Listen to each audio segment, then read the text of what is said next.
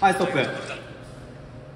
えまずここでちょっとカウンター気味にななったじゃないですか、でもう俺の前にめちゃくちゃスペースあって高橋君からいいボール来たんでとりあえずもう時間作るというよりはもうこれカウンター狙いで前に運ぼうと思って思い切ってドリブルし始めました。今度このボールを奪ってさあサイドを変えてくるというところで小原小原ストップ。が打っていきます。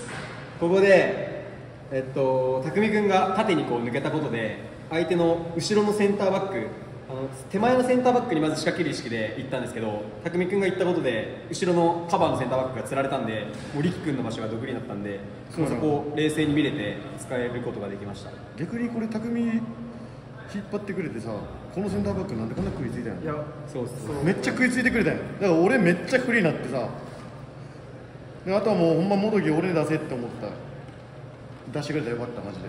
落ち着いて見れてました。元木のボールの持ち方とあと俺が走った後の力君のこの力君多分もっと走ったら足速いんですけどあのこうちょっと遅れてこう入ってくる感じがやっぱりこうサッカーセンスだなと思うんですねこれは。そしてここでフリーになるまずストップ！はい。まあここで戻りからこういいボール来て、まあ、タッチもしっかり決まって、まあ、キーパーはこう飛び出してきてたのをこう冷静に見えたんで、まあ、ニア結構ガラ空きっていうかまあ空いてたんで、まあ、そこは落ち着いてしっかりニアに流し込みました。これ結構むずいっすよね、まあキーパーこんだけ出てきたら、ちょっと嫌じゃないですか。まあ嫌やけど俺もう多分めちゃくちゃ冷静やった。あもう冷静だ、うん。出てくるの分かってたからキーパーとの距離もみもう見えてたしタッチした瞬間に。じゃあもうニアもめっちゃいいや見てほらコースこう見たらそうですね、キーパーが出てきてニアめっちゃ空いてるですもんね。で多分これキーパーちょっと飛んだかな最後。飛んでないんか足閉じたんじゃない足閉じまたまた警戒者だ。あ警戒しやすいじゃないですか。これやばいでしょ。超冷静まあこれはもうストライカーですね。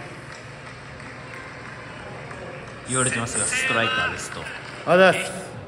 やっと。次はいとするがまた奪い返します前のさらにははいストップ。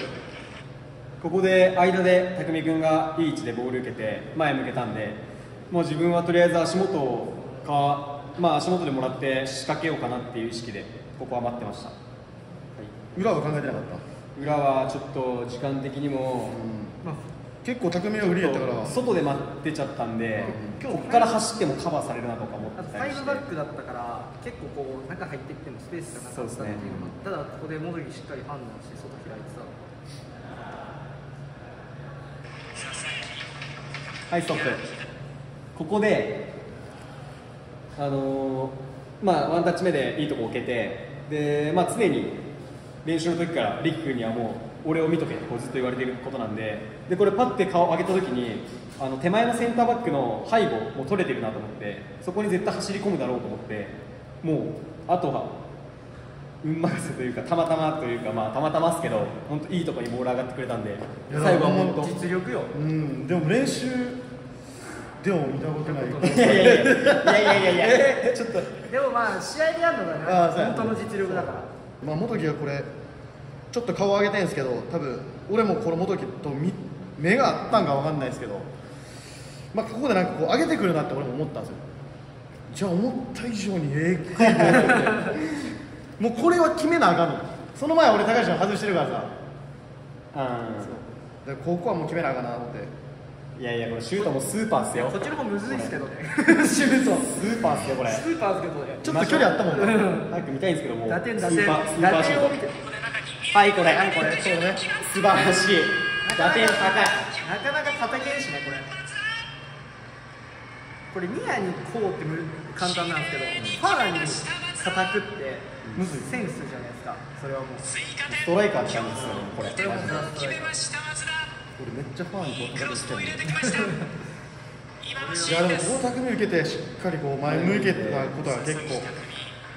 そして開いて小原めちゃくちゃいいボールあげるやん。やばいやドンピドンのピッ。ドンのピッもう多分点で。ドンのピ点で。素晴らしい。いやもうシュートこ決めてくれたんで本当によかったです。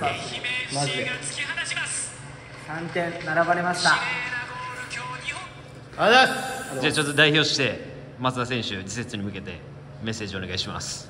いや次も勝つでしょ。うやるでしょ。やるでしょ。やるでしょ。勝ちます次も。